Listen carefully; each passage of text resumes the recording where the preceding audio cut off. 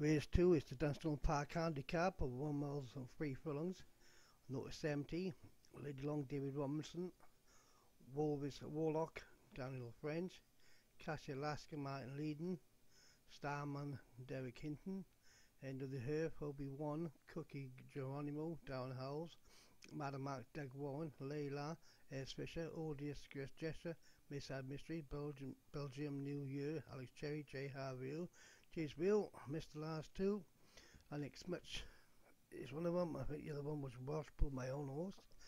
And the starters, they're running. Wait for the settle down. And coming right up the rails is Doug One runner.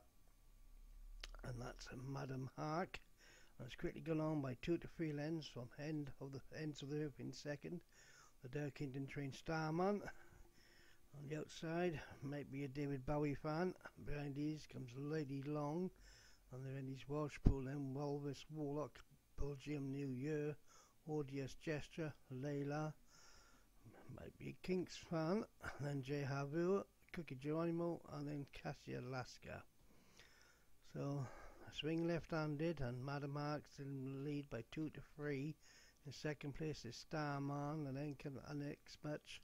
But your next match is Enzo the Herp, Lady Long, Walshpool, Belgium, New Year, Jehar, Ruhr, then Hodius, Gesture, Brendy's Wolvis, Warlock, Layla, Cookie Geronimo, and Cassia Alaska is the back mark on inside and pushed along or the leading runner.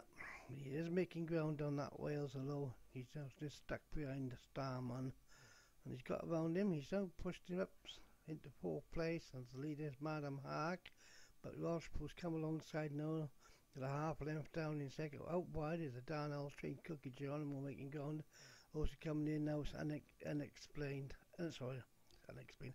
Unix match, and then behind these comes Cassia Alaska, who's made ground all the time and has now come alongside Walsh, put him on, on the inside, Marlon Mac ridden along, going well there in fourth, the curve, he's always been near the pace, and on the outside comes Cookie Geronimo, your next match is back in fifth, and then comes trying to pick up Jay Havu on the inside of Wolvis Warwick. They're now in down straight and down towards the final form. This Casalaska was pushed along on the far side. He made going on down the wheels. He's come for the take it up. Here comes the uh, both Enterhill and Cookie Geronimo. And Cookie Geronimo's going to stay on best now. He's quickened up close on and goes on quickly going two lengths clear. Cassie Alaska just died inside the final furlong. And back in third was Hens of the Earth. And we'll wait on the fourth. Fourth was Welsh Pool. And then Wolvis Warlock.